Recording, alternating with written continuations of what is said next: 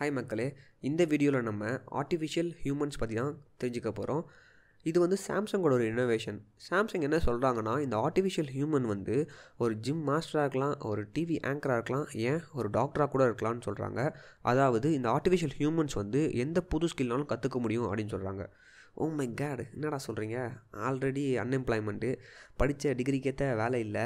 அப்படி வேலை கிடைச்சாலும் அண்டர் பெய்டு அப்படின்னு பல பிரச்சனை இருக்குது அதில் இது வேறு வந்துட்டால் நமக்கு தானே காம்படிஷன் ஸோ ஹியூமனை ரீப்ளேஸ் பண்ண தானே இது பண்ணுறீங்க அப்படின்னு பல டவுட்ஸ் நமக்கு இருக்குது நம்ம அதை தெளிவாக இந்த வீடியோவில் பார்த்துடலாம் வாங்க.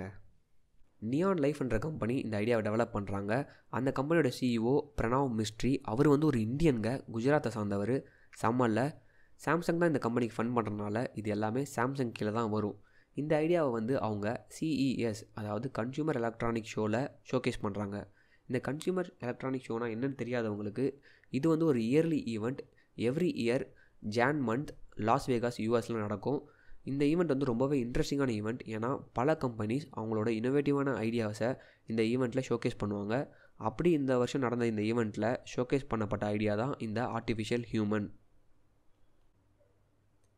சாம்சங் அனௌன்ஸ் பண்ணுறாங்க வேர்ல்டு ஃபஸ்ட் ஆர்டிஃபிஷியல் ஹியூமன் நாங்கள் ஒரு நியூ கைண்ட் ஆஃப் லைஃபை க்ரியேட் பண்ணிட்டோம்னு சொல்கிறாங்க அதாவது நம்ம ஆல்ரெடி ஹியூமன் மாதிரியே இருக்க ரோபோலாம் நிறைய பார்த்துருக்கோம். இது வந்து கம்ப்ளீட்டாக டிஃப்ரெண்ட் இது வந்து ஒரு டிஜிட்டல் ஹியூமன் அதாவது இதை விர்ச்சுவலாக தான் பார்க்க முடியும். ரியல் லைஃப்பில் இருக்காது. விர்ச்சுவலாக ஒரு ஸ்க்ரீனில் இருக்கும். ஆனால் இது ஒரு யூனிக்கான ஹியூமன் அப்படின்னு சொல்கிறாங்க அதாவது இதால் ஒரு புது ஸ்கில் கற்றுக்க முடியும். நம்ம அதுக்கிட்ட இன்ட்ராக்ட் பண்ணுறோன்னா நம்மளோட எமோஷனை புரிஞ்சிக்க முடியும். அதுவும் எமோஷன் ஷோ பண்ணும்.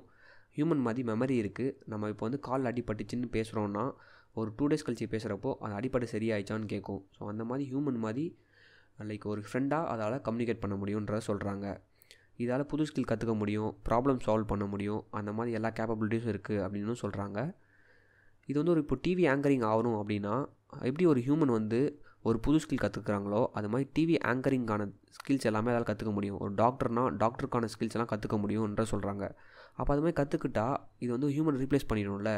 ஸோ ஹியூமன் பண்ணுற நிறைய ஜாப்ஸை இதால் வந்து ரீப்ளேஸ் பண்ண முடியும் அப்படின்றதான் எல்லாருக்குமே கொஷினாக இருக்குது ஆனால் இந்த கம்பெனி வந்து இல்லை அதெல்லாம் கிடையாது. இது வந்து ஒரு ஹியூமனுக்கு அசிஸ்டன்ட் தான்.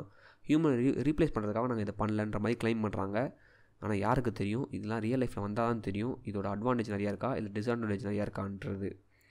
இதுலேருந்து நம்ம கற்றுக்க வேண்டிய ஒரு முக்கியமான விஷயம் என்னென்னா நம்ம ஒரு புது ஸ்கில் கற்றுக்கலனா இல்லை நம்ம நம்ம ஸ்கில்லை வளர்த்துக்கலனா நமக்கு காம்படிஷனாக ஒரு ஹியூமன் மட்டும் இல்லாமல் ஒரு டிஜிட்டல் ஹியூமனும் வந்துடுவாங்கன்றதான் தெரியுது.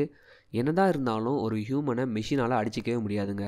ஏன்னா மிஷின் வந்து எப்பயுமே அது கிடைக்கிற பல இன்புட் டேட்டா வச்சு தான் problem solving critical thinking imagination இல்லை க்ரியேட்டிவிட்டிலாம் பண்ண முடியும். ஆனால் ஹியூமன் தாங்க க்ரியேட்டிவிட்டி இமேஜினேஷன்லாம் வந்து சிறந்தவங்க. அவங்க தான் ஒரு புது விஷயத்தை பண்ண முடியும். அது ஒரு மிஷினால் பண்ண முடியாது. ஸோ இந்த ஒரு பாசிட்டிவ் நோட்டோட நான் இதை முடிச்சுக்கிறேன். Thank you bye bye